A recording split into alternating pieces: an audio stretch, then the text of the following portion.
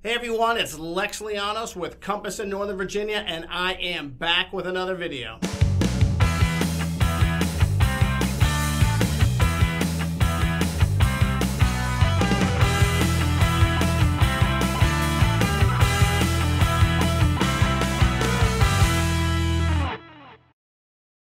Something that comes up for me a lot in my business, and it really causes me a lot of pain, uh, is that well, once a week I get a call from somebody and they tell me about a really bad real estate experience they've had, usually because of a really bad real estate agent. And so our industry has a perception that a lot of real estate agents are overpaid and basically they suck. And that's that's painful to me. Someone who takes this really seriously and who has devoted 25 years of their professional life to this industry. So I'm going to go through the top reasons to shed a little light on why this occurs so often to you guys and to the general public. And I hope this is helpful. So, uh, number one is the wrong motivation or the wrong mindset. Many people that get into this industry think it's easy and think that they don't have to work very hard and that they can make a lot of money in a very little amount of time with uh, very little effort. Um, all those things are not the case, uh, but I think that perception comes, uh, some of it's from HGTV. I mean, million dollar listing where you see somebody, you know, work for 30 minutes and they make $300,000 or, you know, house hunters where they look at three houses and they buy one in a 30 or 60 minute program. And that is actually not anywhere near the reality of the situation. But I think it gives a lot of people that are looking to get into the business uh, the wrong perception.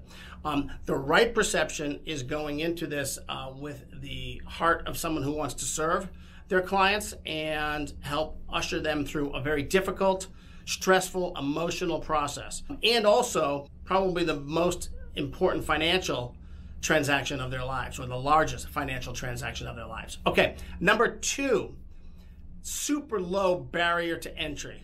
This is going to blow your mind a little bit. But to get your real estate license, it takes 60 hours of either classroom or online instruction and then a test.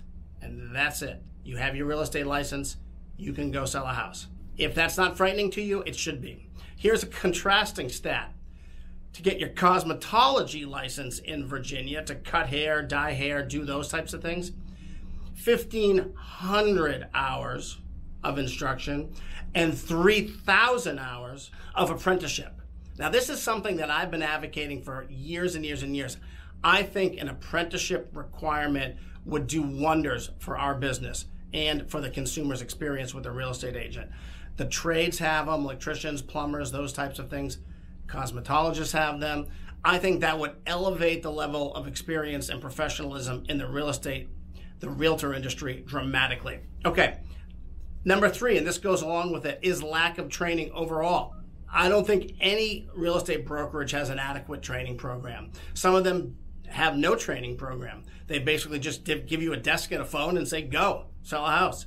And that translates into a really poor uh, customer slash client experience. Um, when you have someone with very little experience, zero to no training, handling the largest financial transaction of your life, a lot can go wrong and usually does. 90% of people that get into this business to be a real estate agent are out of business within two years.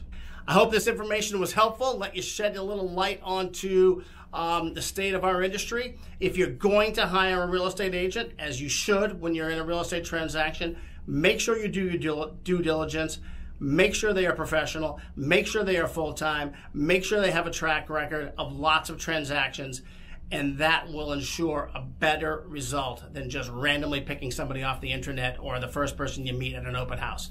If you need any help, you have any questions, I am happy to talk to you. The number's on the screen, an email is also on the screen. No cost, no charge. Give me a call. I'm happy to answer any questions you have. We love helping people through this process. Take care, be safe, and have a great day.